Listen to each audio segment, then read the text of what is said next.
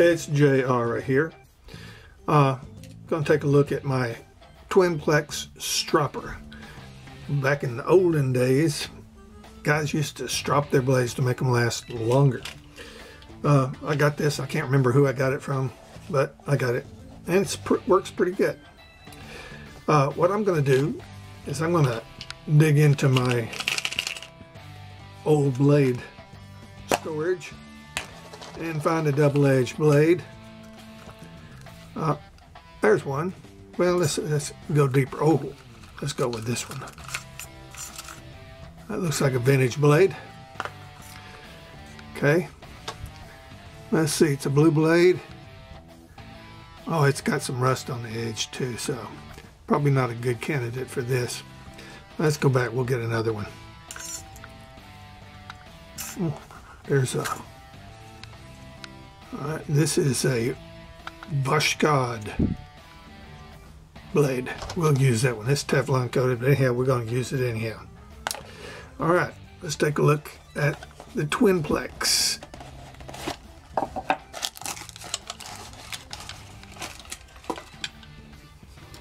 There it is. Some stropping things here, and, and uh, what you do you turn it so that uh, this little gizmo is pointing down. You pull it out, and this is where the blade goes. So,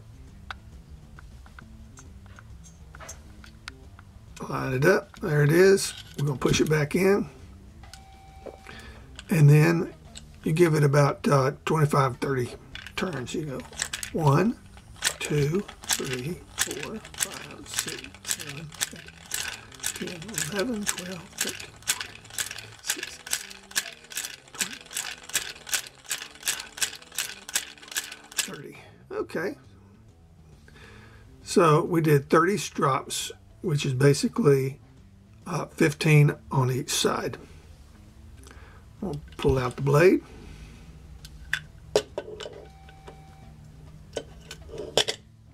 And now the blade has been stropped ready for use. Uh, yesterday I did this with another blade and I put it in this razor that I've kind of put together. This is a Franken razor. It's got um,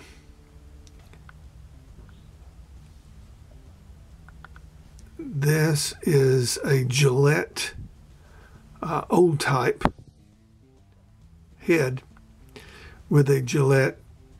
But this is the handle that came on the, the Tech, the pre-war Tech, a Gillette Tech. That's a very nice handle. Uh, if I remember what it is, I'll put it on the video. Okay, anyhow, uh, I stropped this blade uh, yesterday, and this morning when I shaved, I actually used this to uh, do some touch-ups, and it did very well.